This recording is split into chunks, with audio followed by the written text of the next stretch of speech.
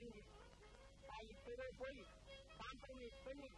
நீங்க ரெண்டு பேரும் பழையபடி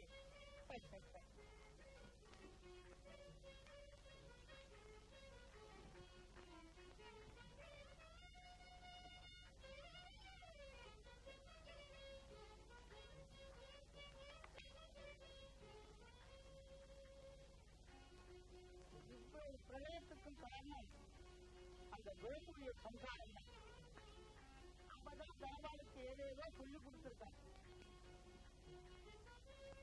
கவலைப்பட வேண்டாம். எல்லாம் சரியா போயிடும் கரெக்டுமா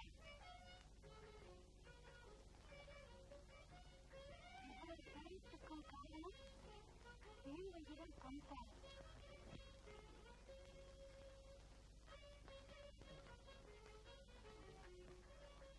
தாயா